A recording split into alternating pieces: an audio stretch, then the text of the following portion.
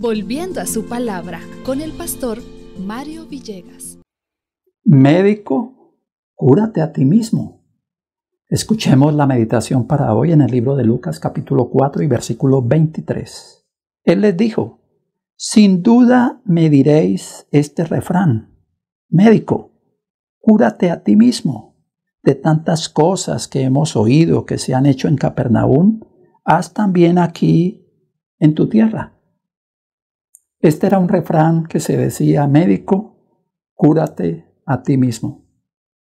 Ese refrán lo decían indicando de que el médico tiene que saber que él mismo se enferma y él mismo tiene que curarse. Pero muchas veces el médico se enferma y no sabe ni su propia cura. Lo que le están diciendo a Jesús es, bueno, demuestre que usted es Dios, demuestre que usted cumple las escrituras, eh, demuestre que usted es el que se espera, el Mesías. Jesús leyó los pensamientos y eso indicaba mucho. ¿Quién puede leer los pensamientos cuando les dice, posiblemente ustedes ya están pensando en ese refrán médico, cúrate a ti mismo. Y eso es lo que estaba pensando la congregación que estaba reunida ahí en esa iglesia, en Nazaret.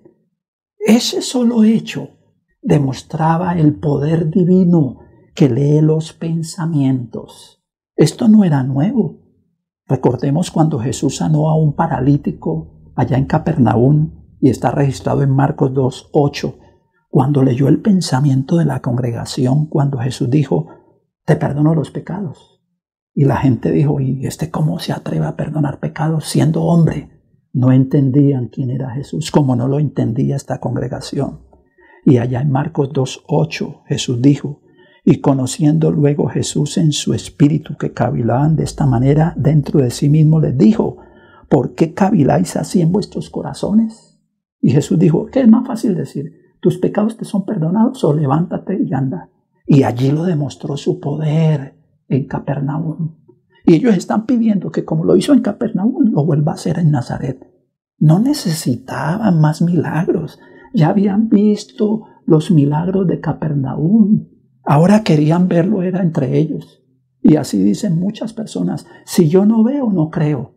Pero no, no vemos el milagro de nosotros. Hoy estamos vivos por el milagro de Dios.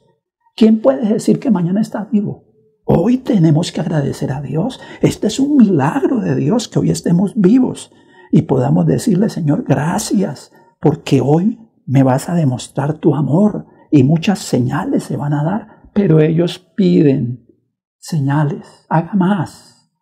En el libro de Juan, capítulo 4 y el versículo 48, dice, entonces Jesús les dijo, si no viereis señales y prodigios, no creeréis. Esto se lo dijo a un hombre que tenía un hijo enfermo. Y Jesús le dijo, si usted no, no ve el milagro, no cree. ¿Nos está pasando eso hoy a nosotros? Sí, muchos dicen, no, yo tengo que ver para creer. Pero es que estos son asuntos espirituales. Tenemos que entender que nosotros no creemos. Por naturaleza no creemos en lo bueno. No creemos en Dios necesitamos pedir ayuda para creer. Que el Señor nos ayude a creer, porque Él es el que produce el creer, o sea, la fe. Él produce el querer como el hacer. Y esto se va a seguir sucediendo. Cuando Jesús estuvo, vieron todos los milagros y sin embargo seguían pidiendo más. En Mateo capítulo 12 y el versículo 38 dice, entonces respondieron algunos de los escribas y fariseos diciendo, Maestro, deseamos ver de ti señal. Y ya leía el pensamiento.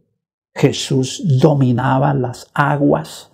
Jesús levantaba los muertos. Jesús hacía milagros que los que no veían volvían a, ver y sin embargo pedían más señales.